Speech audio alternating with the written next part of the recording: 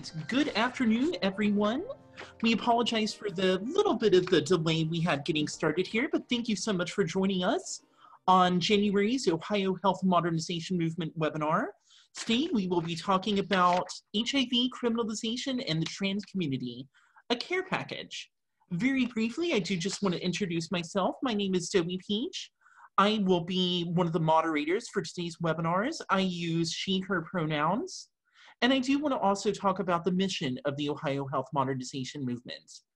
The Ohio Health Modernization Movement is a coalition of organizations and individuals dedicated to ending the criminalization of HIV in Ohio. Our mission is to mobilize a broad coalition, including individuals and communities who are disproportionately impacted by HIV, to replace fear based, stigmatizing laws that criminalize HIV status with evidence-based, non-discriminatory laws that protect public health. With that said, we have an awesome lineup of speakers today. So I'm gonna do a brief introduction for a few of them. There's a couple of folks we don't have biographies for, but I do first things first want to introduce Miss Angie, one of our panelists today. Miss Angie uses she, her pronouns. She is a mother, a granny, a drag entertainer, a trans activist, a volunteer for Mosaic Street Worker Project.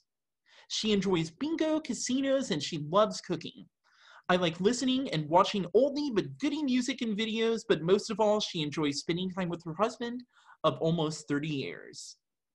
Kim Burrows will also be joining us today. Kim Burrows uses she, her pronouns. She is a staff attorney in the Equality Ohio Legal Clinic. She graduated from the Ohio State University College of Law in 2016. Prior to joining Equality Ohio, Kim worked primarily in the field of criminal law. She began her career as an assistant prosecuting attorney in Delaware County, and then worked as a criminal staff attorney in the Delaware County Common Pleas Court. Kim is passionate about working with the LGBT community and strives to provide trauma-informed services to clients. Miss Michaela Robinson is joining us as well. Michaela resides in Columbus, Ohio. They are 34 years of age, a graduate of Aveda Institute with a certification as a managing cosmetologist. Currently employed with the Mosaic program as a prevention specialist through Equitas Health, where they were recently promoted to a trans health navigator. Within this position, they are out in the community testing and providing linkage care. They are also responsible for ensuring that people living with HIV are able to access and maintain care. They've also done many shows and benefits that have raised funds and awareness for the fight against HIV AIDS, along with efforts to help other LGBTQIA organizations. She is a positive force with a positive attitude and a great smile, Miss Gay Ohio 2018 forever.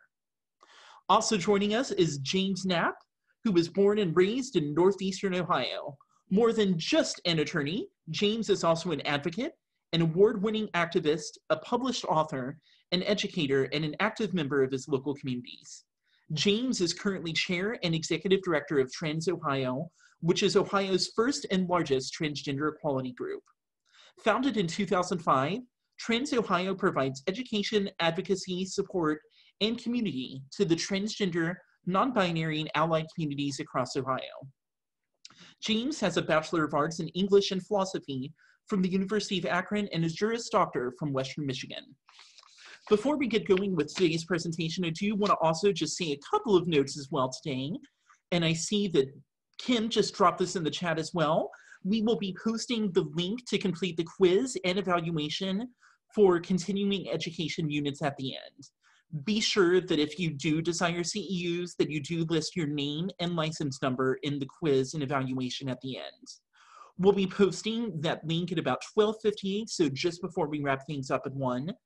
And I do also want to briefly provide a trigger warning today. We will be discussing some deeply personal stories. We'll be discussing transphobia and abuse at the hands of law enforcement.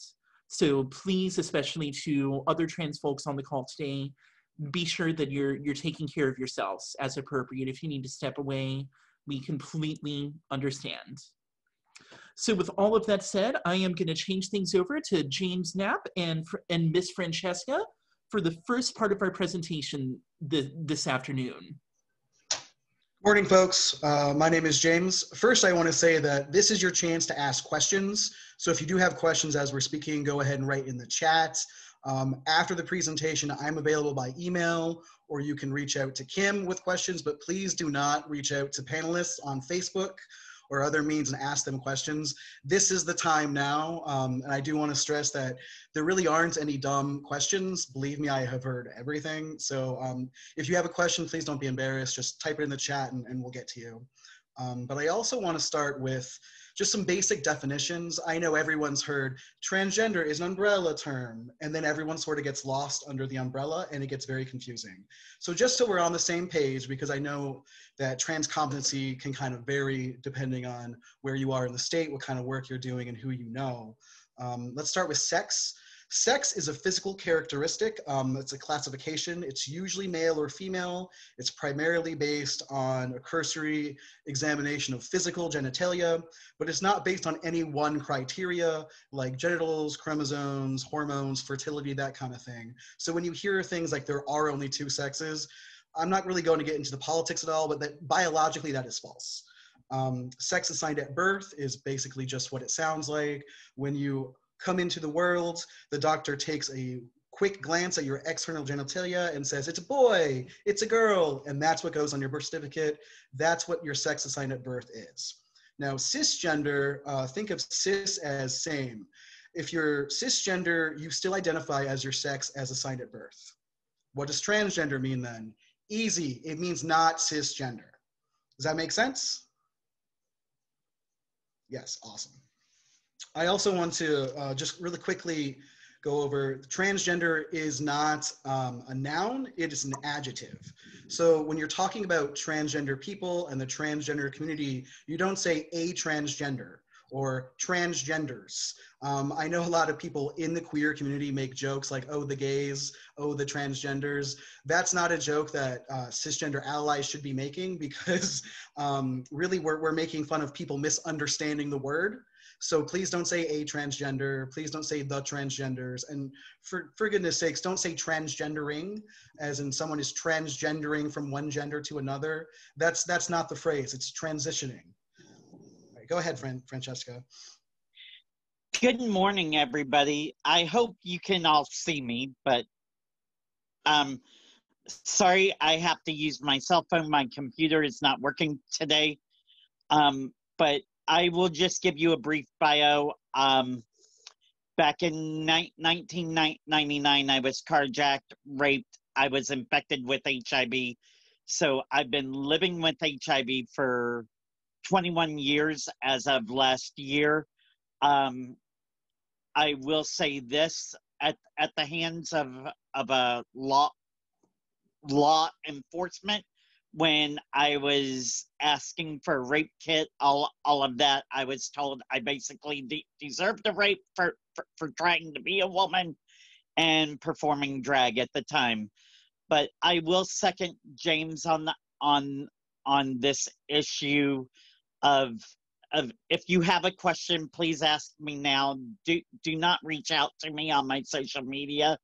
Um, I'm I'm a person who likes boundaries and has learned to establish boundaries as far as being trans. So, um, yes, um, I did transition. I did have a surgery in 2019 for gender affirmation surgery, which for HIV positive and, and individuals identifying as trans. Um, as far as 10, 10 years back, um, could not have been performed if if you were HIV positive. Um, so I I do identify as as a as a post-op trans woman.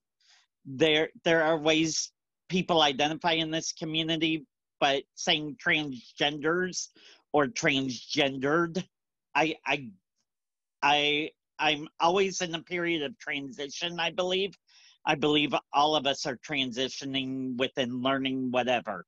However, it's it's not appropriate to say transgender, transgenders, um, transgendering. Tra- transitioning may be a better word to use. However, yes, that's how I feel about it. Um, I will say it's very scary living as an HIV positive and trans woman. I rarely go anywhere by myself because of the fear of, of being mistaken. I could be shot. I could lose my life much more easily as as a trans woman. I mean, and identifying as as a trans woman living with HIV going out in public by myself, not not knowing if I'll if if I should return, if if I were to be arrested. Now I will say again, as a as a white trans woman, I I I most likely would not face the oppression that that my sisters and brothers of color face is as as a trans person person and and their severity would be very much more severe than mine. And how, however, I would still experience prejudice and bias from law for, for, from law enforcement as as I have in the past. I'm I'm not discounting the um, s- significance of the of the color barrier and how it how it plays in. I know it plays in, and and I like to say I have some relatable experiences with my brothers and sisters of color, and and it does not make us equal.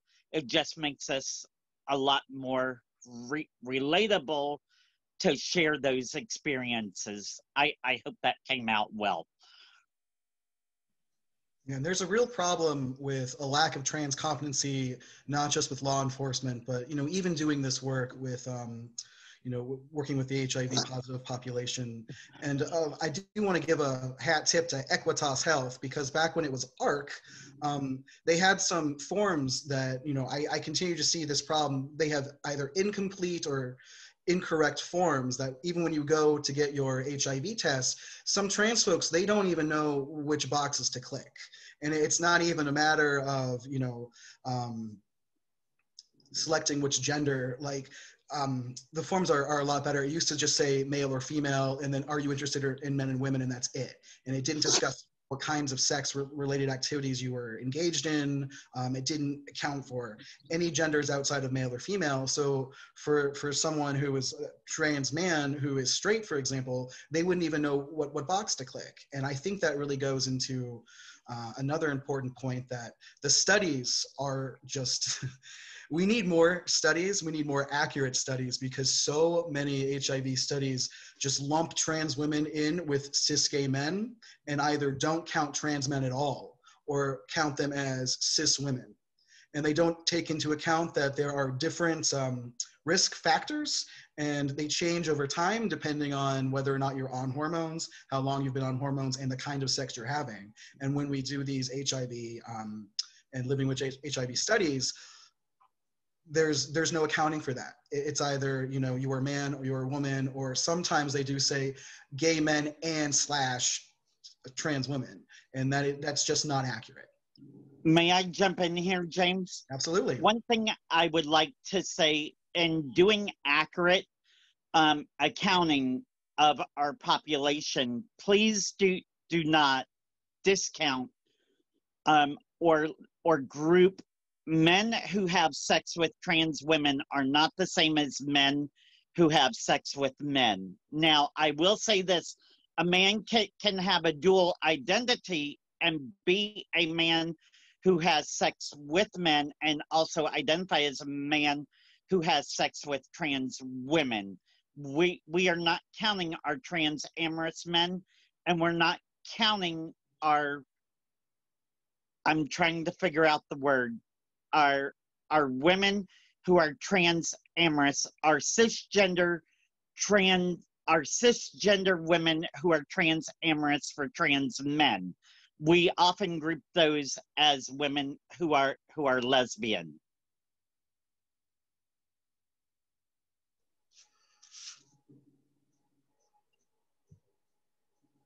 All right, thank you both for starting us off today. We do have um, one quick question, but we're actually going to go and save that for the end. So the next part of our presentation today, Michaela and I will be discussing some of the barriers to care the trans folks face. James already started the conversation a little bit with the mention of some of the struggles that we see in the study. So Michaela, go and start us off and I'll, I'll jump in. All righty. Well, good, um, good afternoon to everyone. My name is Michaela Robinson. Um, I use all pronouns. Um, I would say when it comes to care, I do believe some of the barriers that are um, around and that many people face is when you are transgender, um, non-binary, non-conforming, sometimes your care providers, they sometimes lack the true understanding on how to really address the issues that you may come into and present with them. Sometimes there's a lack of resources to actually make benefit for those who are in need of certain um, certain resources. I know housing is one of the biggest issues that we tend to see when it comes to our trans community, where it faces to where it's very very hard to um, get housing, and also when it comes to employment and I think some of the biggest things as in case management to where it can be helpful is if there was more resources and links to uh, figure out the best places to send trans folks to be able to apply and be able to get the proper care and the proper respect. I think also when it comes to dealing with people in housing, what has to happen is just a respect level from day one to not sexualize the client and to not sexualize the potential um, potential new tenant and just make sure that you're being respectful in all ways and all possibilities. I do believe there's a lot of issues when it comes to just un- also understanding that sometimes you're not going to have a client who's easily want to speak freely about everything. It sometimes it will take a little bit of time, and you have to build a trust factor, and you have to build a respect because it has been so many issues when it comes to the medical field, when it comes to trans persons, and how they are and how they are respected when it comes to the medical field a lot of people have been very um, disrespectful in a sense of starting from day one, like when you walk in, go to the reception desk, that messes up a lot of the issues because if you're not respected from the, the jump, and then if you don't also see yourself being represented in the advertisement or in the posters or anything that's around, it, it makes it feel like you're not welcome in the space. I know um, a lot of people do get a lot of health care through Equitas Health, and there's been a lot of work on making sure that there's a lot of representation being seen and visible in everything that is put out in the community. I know there's a lot of other places that people do frequent and go to.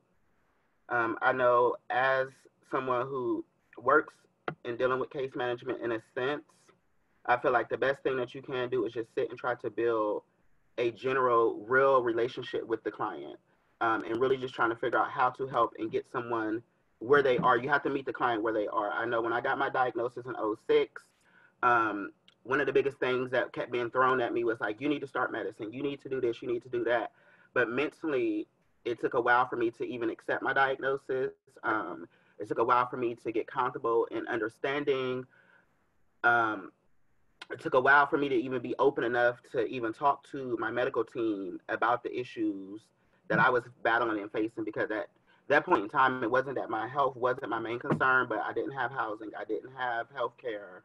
I wasn't out to my family about a lot of things and stuff or whatever. So it was I had to work through that first before I could get to that point. And I didn't disclose to my family until about 2012, and that was after figuring out that it was about that time for me to start medicine, and I needed that extra support and that extra care from family and friends to help make sure that I can make it through my journey. And amazingly, uh, been able to be undetectable for the past eight years. Um, it's been a great uh, thing to be a face and a representation for people within the community. I just live, I try to live authentically and just be able to press forward and to allow people to know that it's okay to accept your trials and tribulations. It's okay to accept who you are. Everyone's life is pre written, so it, it takes sometimes for us to figure out our life journey. And then I know in the medical field, and sometimes when you have your therapists and your counselors, a lot of people are trying to help you. But at the same point in time, it is a journey where you have to figure that out on your own.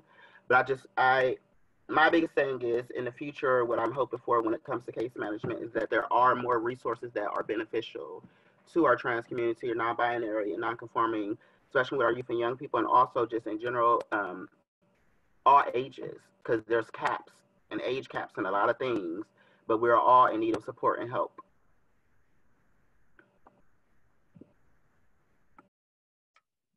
Lost my mouse there for a second. I'm so sorry. Thank you so much for sharing, Michaela.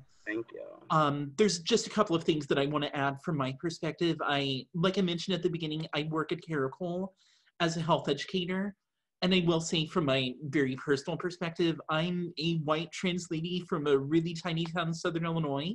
I am not living with HIV. So I'm so glad that we have other folks on here that are willing to share their personal journeys and personal stories. I do want to mention a couple of other barriers to care that I see come up frequently with some of my trans friends and my trans clients. My, and I do want to add as well, going back to some of our discussion about studies and language, we still see, and, and me as a tester at Caracol, there's still no box for folks that are intersex. My my partner is intersex, and I would not be able to check that on the Ohio Department of Health testing form. So we still have a long way to go in improving some of our language.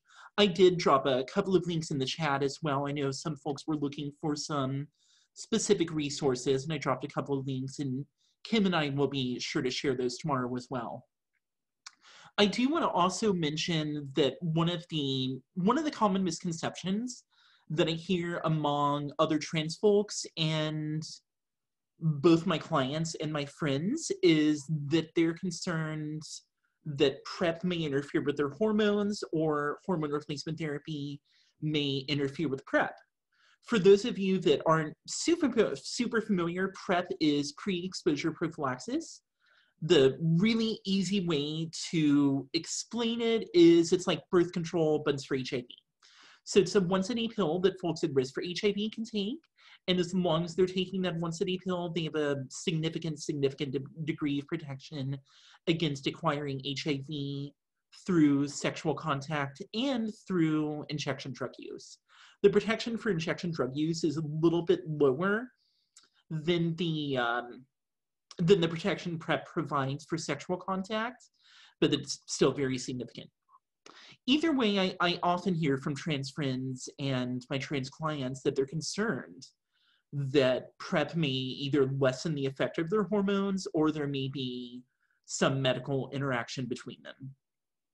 Luckily, there have been a number of studies on this, still not nearly enough, we still need more, but there have been a number of studies on this that have shown that there is no interaction between PrEP and hormones, with one exception.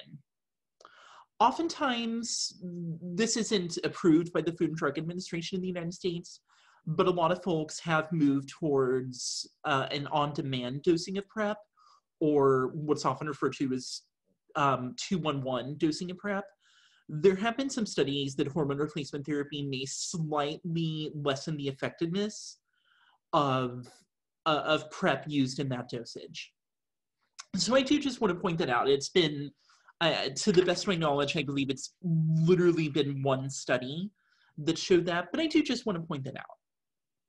I do also want to briefly talk about some of the epidemiolo epidemiological side of things as well. That's a fun word to say on a Tuesday afternoon.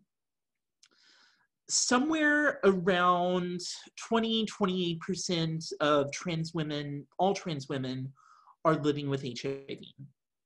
However, thanks to the racist white supremacist society, society that we live in, the proportion of black transgender women that are living with HIV is much, much higher. Some estimates are up to 56%, but the main estimates that the Centers for Disease Control and Prevention have been going with lately have been somewhere around 44%. So with all of that said, there are a significant number of barriers, both on the epidemiological side from um, what we refer to as social determinants of health that impact trans folks, along with some very real medical concerns, some interactions between hormone replacement therapy. Um, one of the other things as well that I do want to point out, in addition to sexual contact, which we talk about all the time as it relates to HIV, trans folks are at risk for contracting HIV through injection drug use, whether it be prescription drugs, so hormones, or it be illicit recreational drugs. Many trans folks take hormones through what's called an intramuscular route, which may put them at risk of sharing syringes with somebody else, or otherwise not having access to clean syringes, putting them at risk for uh, bacterial and fungal infections, in addition to HIV and hepatitis C. So I do want to emphasize for any of our harm reductionists on the call, I know we have about 80 attendees today, which is amazing. So maybe we uh, have a few harm reductionists on the call today. So it is so important to make sure that we're including trans folks within our harm reduction programming and recognizing the unique needs that we have. So we may need different gauges and needles. We need to be respected in the programs. I do see Miss Francesca dropped an awesome point in the chat since we're talking and promoting PrEP. We also want to discuss PEP, P-E-P. PEP is short for post-exposure prophylaxis. So that one is kind of like the morning after pill for HIV. If somebody has had a possible exposure to HIV, they can start PEP within 72 hours of that exposure, and it significantly lessens the chance that HIV will will take hold in their bodies, if you will. And PEP has been shown to have no interactions at all with hormone replacement therapy. It's usually a course of pills for about 28 days or so, sometimes about 30, just to make things easier for dosing. So PEP and PrEP, two awesome, awesome ways to prevent HIV. Both us here at Caracol, here in Cincinnati, in the southwestern corner of the state, were able to navigate folks to PrEP and PEP and of course, we provide our testing services at Caracol as well. And a lot of times that's working with our awesome medical partners over at Equitas since they have a clinic here in Cincinnati. Now we're able to provide a lot of referrals for trans healthcare and PrEP healthcare over to our friends and partners at Equitas. That's one of the significant barriers that we see to care, and we, we saw it especially here in Cincinnati for years until Equitas came into town is that there there are just not enough trans competent healthcare providers. For those of you from Cincinnati, you, you may recognize the name Dr. Sarah Pickle. She, she's my personal physician as well. And I often jokingly say that it seems like every transgender person in this city goes to see Dr. Pickle. But now we're, we're lucky enough to have more and more providers coming on board. So in the future, I truly hope that medical schools are going to be better about educating their students on caring for folks that are transgender and some of the different prevention options for folks at risk for HIV. Michaela, did you have anything else to add? Oh yes, because I seen what Francesca posted about the uh, poppy and uh, I mean the prep and pep. Um, that was a conversation I, I was discussing with um, some people yesterday, to where it was um, to where it was like there's not there isn't enough conversation when it comes to PEP. And I think sometimes it's not just for prevention departments, but I think overall medical and even um, emergency rooms, there's not enough discussion and there's not enough advertisement to let people know that PEP is out there and it is a pre type of medicine that you can take to help make sure. And then also if you get into a situation where there is maybe rape or something where you were sexually abused, so where you can start that and then you can lead into PrEP. There is a program at Equitas called Poppy, which is a payment assistance program to help people get on PrEP. Um, you just gotta, um, the only criteria is that you have an HIV negative status, you live in Ohio, and make less than $62,450. And I do work as a trans health navigator for that program. Um, I wish I did have more trans clients. Um, there's a high percentage of MSM that is on um, PrEP and I'm trying to figure out the best ways to get the trans community to see and understand that there's um, resources out here um, to get more people to use PrEP and even also in the POC community to just get people to understand that there is access.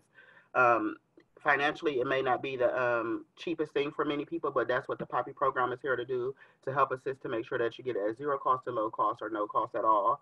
Um, but I do believe that there should be more conversation and more advertisements about PEP um, and it's just not enough out there to let people know about the pre things and also the steps that can be taken to be uh, preventive. Goodness gracious. Thank you so much, Michaela. And I, I did see, thank you for dropping this in, in the chat. I believe it was, let me see here, Brooke dropped this in the chat. Poppy is a statewide program. So outside of the areas that Equitas serves here in Cincinnati, Caracole is able to offer the Poppy program and our partners up in Cleveland, some of the um, some of the organizations up there offer that as well. Oh yeah, we cover 11 regions, so we have them. We have them in a lot of the different areas all over Ohio. So there's enough um, health navigators that can be helpful, even in our rural areas, um, to where they're also even making sure that they're linking people to the proper appointments and everything to help and get that care as well. So there's, there's navigation happening all over. yes, since I, I, come from a very small rural town, uh, I'm very passionate as well about making sure that we we're serving our rural folks. Oh yeah. So with with all of that said, I think we are going to go ahead and move on to another segment of our presentation today. The main segment of this part of the presentation, Miss Angie will be sharing uh, a deeply personal story, and I, I know I mentioned this earlier with the trigger warning, um, but I do just want to mention that again since this is a very personal and a, a very emotional story, and we're so so thankful that Miss Angie is able to share that for, with us. And once Miss Angie has uh, wrapped up her portion of the story, Kim Burrows from Equality Ohio will be rejoining us again to discuss some of the legal side of things um, as they stand currently in prisons and in the criminal justice system. So I'll turn things over to you, Miss Angie. Hello, hey, I'm Angie. I'm from um, Columbus, Ohio. I'm originally from Cincinnati, Ohio. I've lived in Columbus, Ohio for about 20 years now. Uh, I'm um, I don't want to call myself totally an activist, but I'm I'm I'm being pre- presented as an activist nowadays that I've gotten older. But I want to on the Miss Justice. I this story that I want to tell you guys. This is actually I've never shared this story publicly. I've told this story to quite a few friends over the years, but it was always as like a joke. Nowadays, where we're at right now, when I think and I tell this story over now, it's like I I just finally I want to cry, but I'm so I'm telling you this personal story which happened to me. This has actually happened in 1989, which was like 31 years ago, and it's with the penal system. I was sent. I was young. Uh, I got in trouble, and I was sent to the Ohio penal system, which was CRC Correctional in Orient, Ohio. This was in 1989. Hello. Everything just went away. You're back, Miss Angie. We've got you again Oh, popping in and out on the video, but your audio was still good. My audio still good. Okay. Yes, ma'am. Okay. Well, I guess it'll pop back in this eventually. So this was 18, 1989. I just want to give you the first three days of me, um, young black transgender, 20.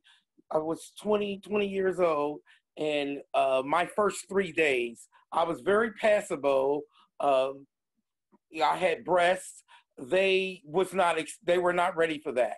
They were they hadn't had you know gay people, transgender people, but they they had never experienced one of my category, I guess, at that time.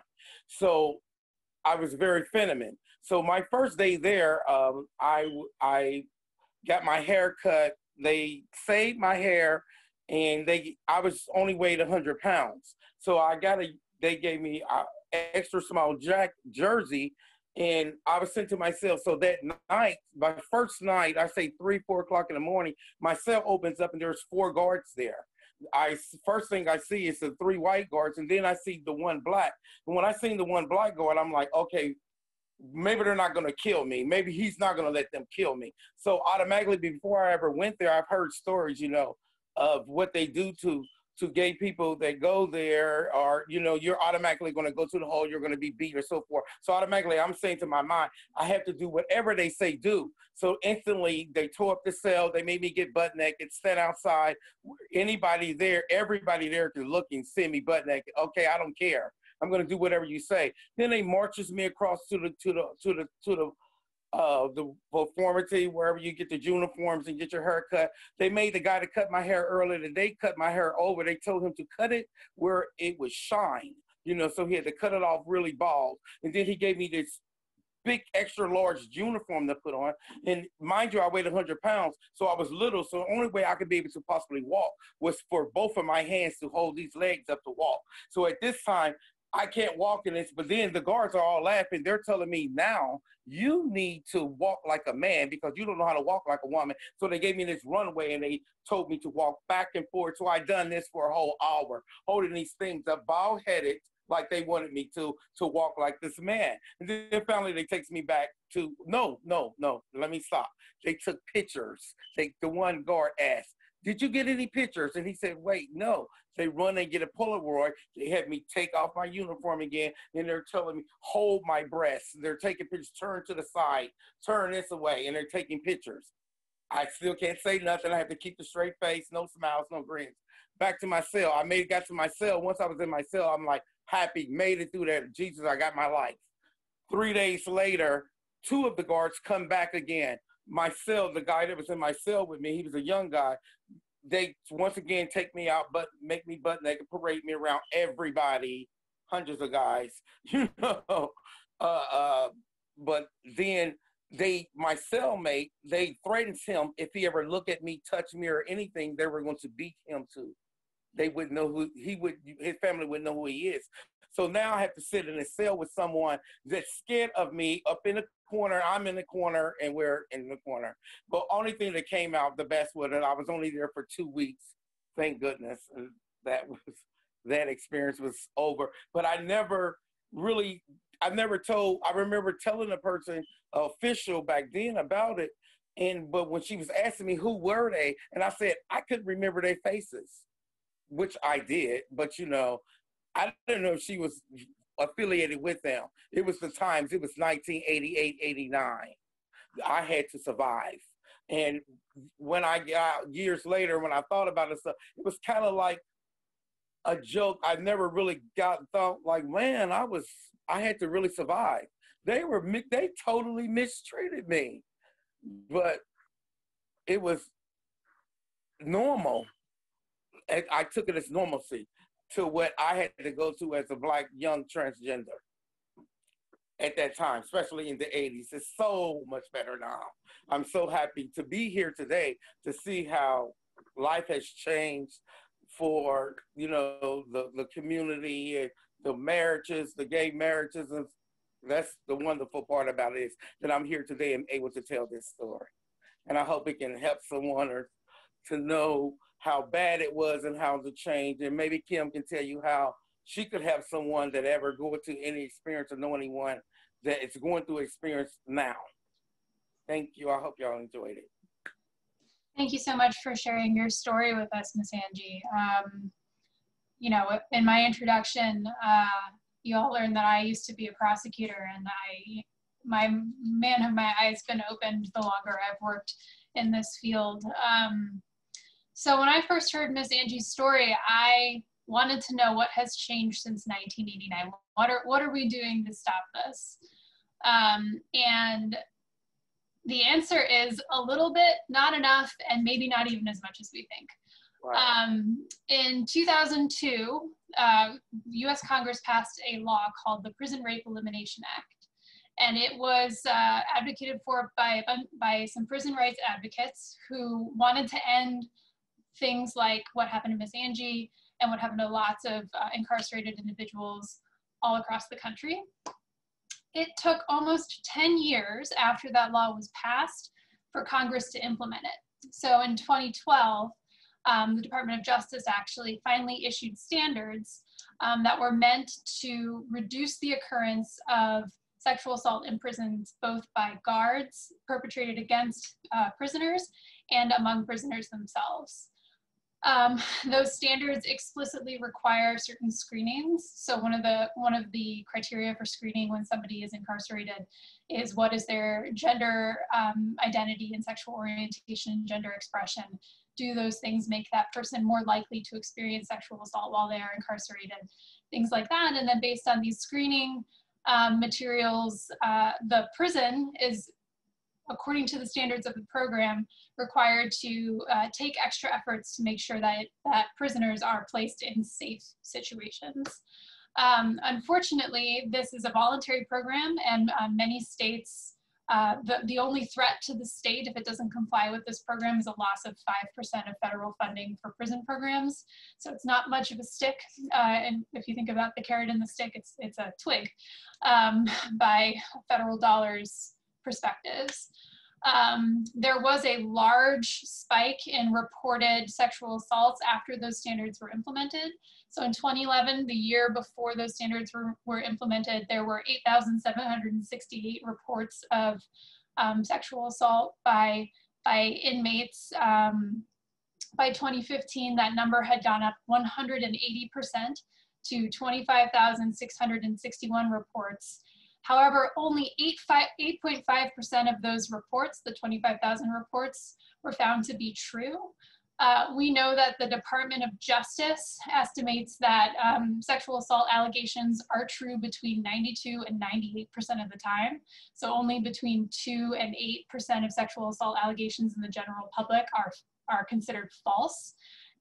And yet in the PREA context, in this, in this statute's context, um, the findings are that 92% of the complaints are false.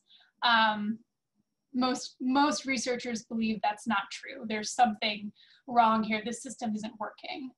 Um, a DOJ report in 2012 also found that 42% of the time after somebody made a complaint, they faced retaliation by uh, staff at the prison. Um, 58% of the complaints in 2015, those 25,661 reports, 58% of those were by prisoners against staff members. Um, so these are correctional, this is like what happened to Angie, Miss Angie. Um, these are correctional officers, folks that work, you know, in mess, things like that. Um, and again, uh, there was retaliation 42% of the time. So while, while there are, there is a rec recognition of this problem occurring for um, trans and uh, gay and lesbian uh, prisoners all throughout our country, uh, we're not doing enough. And what we're doing, it's not really working. Um, there's really no evidence to support that these attacks have diminished since this law was passed. We just know a little bit more about them because of these reporting mechanisms. Um, we also have been seeing uh, trouble with our trans clients. So uh, again, I work for Equality Ohio. I'm uh, one of the staff attorneys for our legal clinic. We have uh, three staff attorneys. Our Cleveland-based staff attorney, Kate, um, has a special project where she works with uh, trans clients who are currently incarcerated to help them get HRT, uh, and whatever other medical needs that they may, uh, medical treatment that they may need as transgender individuals while they're incarcerated. Um, currently, the barrier there is that uh, entities like the Ohio Attorney General, your local counties that maintain local jails and prisons, state actors are arguing that um, hormone replacement therapy is not a medical need um, under the under the Eighth Amendment. And so there are lawyers like us who are trying to litigate that through the courts. But as you know, litigation is something that takes time. It, I would estimate that the average case to get to the United States Supreme Court takes between five and six years. Um, thank you, James. So, uh, you know, there are lots of barriers to access to justice and medical treatment um, for trans folks um, and really all folks who, who are incarcerated in Ohio and throughout the country. Um, specifically with regard to COVID-19, um, as many obstacles, barriers, problems we've had securing appropriate healthcare for our clients um, before COVID-19, those have doubled and tripled since COVID-19 began. Um, in response to, to the virus and to try to keep the spread under control, the Ohio Department of Corrections has been um, creating alternate uh, housing conditions. So at Pickaway uh, Correctional Center, there were inmates who were who were housed in tents outside, like camping tents outside in the yard for some period of time as a, as a quarantine location. Um, that boggles the mind. um, uh, PREA, the, the Prison Rape Elimination Act that we discussed earlier, um, that has basically been thrown out the window because the, the department is more concerned with isolating potential infections than they are making sure that uh, prisoners who are at higher risk for sexual experiencing sexual assault while incarcerated are placed with you know people who are at higher risk of perpetrating sexual assault while incarcerated. Um, we have had clients who have been unable to see a specialist for um, HRT or other um, trans-specific medical care for six months. Um, so this is all to say the burdens that trans folks, um, queer folks face while incarcerated are numerous and uh, unfortunately they're they're not changing. we're, we're not doing a great job at overcoming those burdens. Um, when you encounter, you know, I know we've got a lot of social workers here. When you encounter clients who are, you know, who have interacted with the system or maybe are still in the system, um, like I like I said, 42% of the time they face retaliation for complaints. These, you know, these folks don't have any reason to trust people who, are, who say they're trying to help them. Miss Angie told us about somebody who was able to help her, a counselor, I believe, um, after those events happened to her.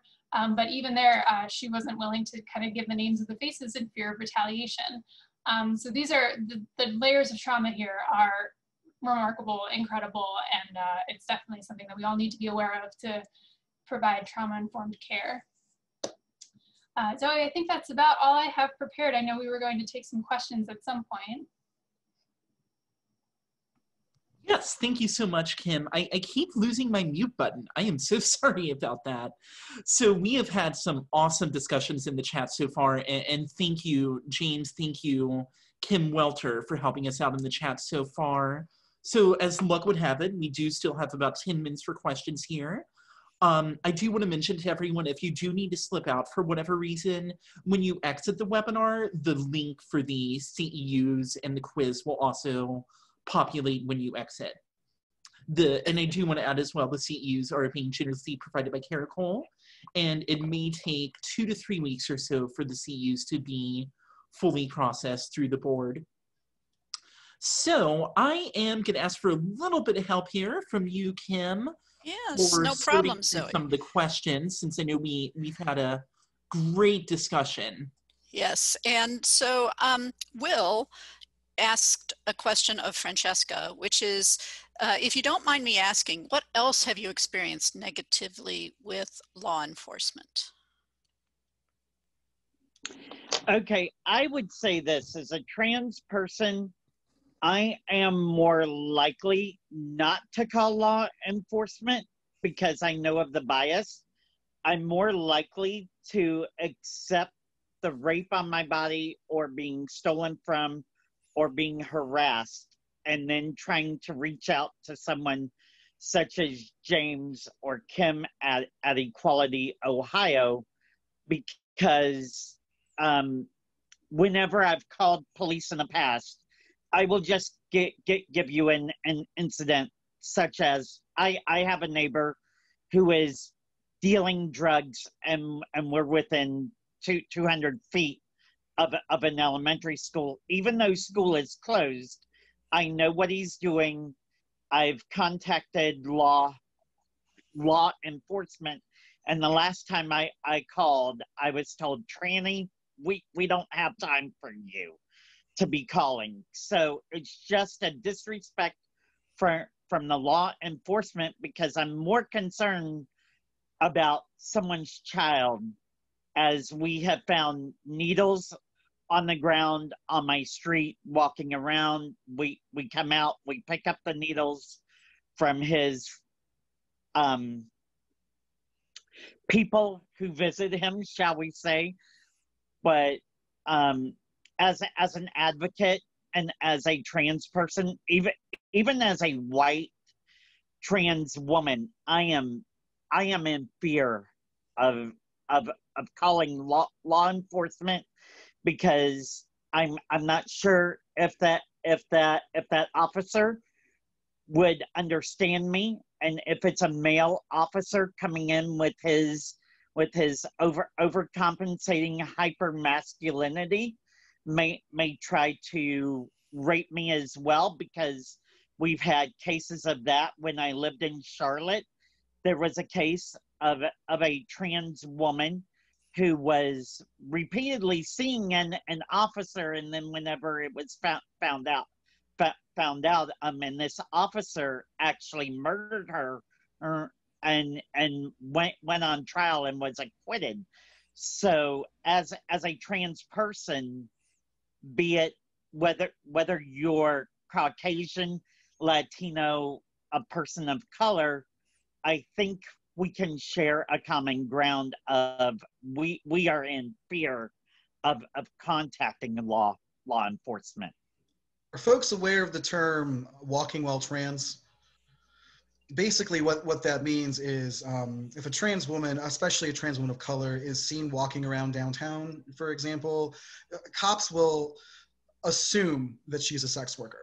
Uh, just because she is readable as as a trans woman um, and trans folks are already disproportionately affected by homelessness, food insecurity, um, unemployment. Uh, and when they run into law enforcement, um, especially if you know they happen to have condoms on them you know for for god's sakes don't carry a condom with you if you're out going on a date they'll use that as evidence that they're going to be a sex worker so then trans women to protect themselves stop carrying condoms which puts them at more risk um, for, for being sexually assaulted, for being sexually assaulted um, violently with zero protection, for for getting uh, for being infected with HIV, um, and when they fight back, you know, there's more and more um, the burdens on them to prove that they were in the right when they were in fact the victims, and you know that goes into um, you know really disclosure about your trans status and your HIV status. Some people don't want to disclose either, um, especially when um, you know, there there is a real risk for physical um, physical violence, um, you know, and, even death. Um, so folks will go out of their way to not get tested because they think, you know, they can't be violating the law for knowingly transmit HIV if they don't know their status. And this is true not even outside the trans community as well. And the problem with that is obviously, you know, you're increasing your risk, but you know the, the stigma is still real for for trans folks out there. So even trans folks who are positive and who are living with hiv they don't talk amongst themselves because there's so much backlash from different community members and there's so much stigma still um, that we're just not openly talking about this. May i jump in here again?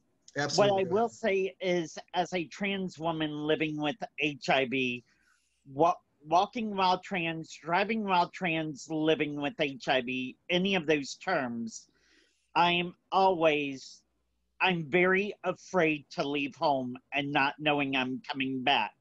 I have friends who would rather come and get me and have me in their car riding with them than for me to drive to meet them because they they know of my fear of driving to their house alone or or whatever but i i will say this and i i know miss miss michaela can back me up on this but but my sisters my daughters of color those i I, I'm always asking them if you're going somewhere, please tell me when, when you get there so I know you made it safe.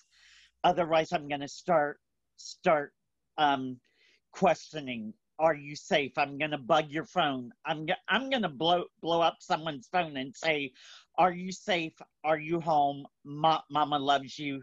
Thank thank god you made it home safe.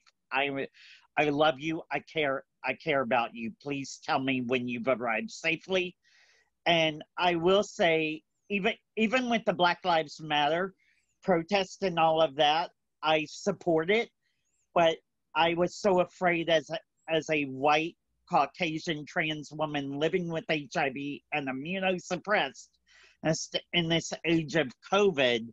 I spoke with, with, with my care provider and said, I, I want to go. And she said, no, you, and you can, cannot go because your immune system is compromised and support fr- from home, be, be in contact with those you know that, that are down there check check in on them and and have supplies at, at your house and have them get them fr- from your house and take them for you. James, do you want to give just real quick a couple of um, good resources for people to do further research, um, information gathering? James, me? Yep, James, yes. Okay, um, I would go to transohio.org, um, even though our website is down right now, so I feel silly saying that. Um, we're down, we're, we're expanding our resource list, um, so we'll be back up by the end of the month. Um, but, you know, Equality Ohio has uh, quite a lot of resource to, resources too. Um, I think uh, Kim can speak to this too about you know the work around uh, PREA and you know the felony convictions. I can't seem to turn my video on. I don't know if anybody. We can still hear you, Kim. No worries. Okay. Um, yes. so Equality Ohio will. There we go. Hello. Um, Equality Ohio uh, offers pro bono legal representation to LGBTQ folks who are at or below 300% of the federal poverty limit. Our only exclusions for like subject matter are we don't do criminal defense, which is not the same thing as prison adv- ad- advocacy. We do prison advocacy. Um, and we don't do lawsuits that involve like high, a lot of money. Um, so we're not, trust me, we are not the folks who, who get, you know, $20,000 awards, but we do, you know, landlord tenant stuff. We expunge criminal convictions. We do basically every, anything and everything um, aside from those two exclusions. Um, so if you encounter a client, uh, trans, queer, gay, lesbian, intersex, I've seen a lot of discussion about that. Anybody who identifies as queer um, and meets that income level, send them our way, um, and we we do everything we can to make sure we can take on as many cases as we can. Um, so, and if you have a client who you think doesn't meet that income threshold, so so 2020. 300% of the federal poverty limit is $38,000 a year, roughly. roughly. Um, if you have a client who earns more than that, we do have a referral network. Um, so we have identified some uh, affirming lawyers in our in the three C's, Columbus, Cincinnati, you know, everywhere where we work, um, who can take clients that we're not able to take because of our funding limitations. So please send them our way. Um, I think Kim linked the intake website in here somewhere, but if you just Google Equality Ohio intake, call that number or do an online submission and someone will reach out to you or to the client and we'll go from there. All right, thanks so much, Kim. We are now after one o'clock. We had some more awesome, awesome questions in the chat. I really wish we could get to those, but unfortunately, since we're over time, so thank you all for being so generous with your time today, both attendees and panelists. Uh, one last thing, Kim Kim Welter did drop the link for the evaluation CEUs in here, but like I said a while ago, when you exit out of the webinar, it will also populate with that link. It'll it'll show up in your browser immediately. And please do join us for a February webinar. Perfect transition to a topic we're going to be focusing on uh, knowing your rights. We're going to be really focusing on the felony conviction end of things and about how specifically the uh, HIV criminalization laws work here in the state of Ohio. So thank you again all for joining us today. Uh, please do make sure you fill out those evaluations and CEUs if you desire them. That is a huge help to us. And have a wonderful rest of your day. Thank you.